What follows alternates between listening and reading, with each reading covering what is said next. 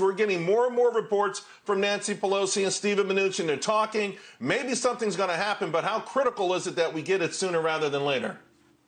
I mean, I agree with Alicia. It's important for those you know workers on the lower end of the totem pole that need that stimulus. But in terms of getting the economy up and running, uh, you know, to Alicia's point again, I mean, the numbers have come in phenomenally well. I mean, if you look at GDP for this quarter, you know, that Atlanta Fed GDP now estimates like 32%, Charles. That's way above where most economists and strategists had actually saw, you know, where we would be right now. It's, you know, I think a lot of these economists and strategists, right. they just don't believe in unstoppable prosperity. You know, they don't see the right. future. and I think next quarter, they should read your book, by the way. But also, even fourth quarter, you're looking at like 10% potentially in GDP growth. Let's focus on tonight, the first presidential debate.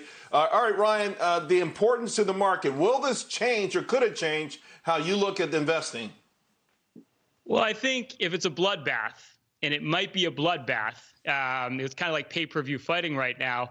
I think that could you know, bring tremendous clarity to, you know, Trump potentially winning. If that's the case, we know the economy is getting better. We know earnings are getting better. That could potentially cause a little bit of a melt up in the market. So clarity tonight could right. be a big, big deal. Okay. Could be very bullish for the markets. This earnings season that's coming up. Uh, last earnings season was phenomenal. Not the numbers themselves, but just how much they came in better than Wall Street anticipated. Yeah, and I think it's the thing here. It's not if things are good or bad. Are they getting better or getting worse? And look, you don't need a weatherman to know which way the wind blows. Everything we're talking about today speaks to one thing economy recovering, earnings going up, and that's what drives markets long term. You've got to be bullish here, Charles. All right, my man ended it on a positive note.